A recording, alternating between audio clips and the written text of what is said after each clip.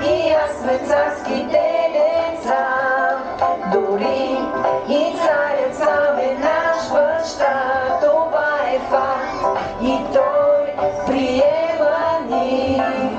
Та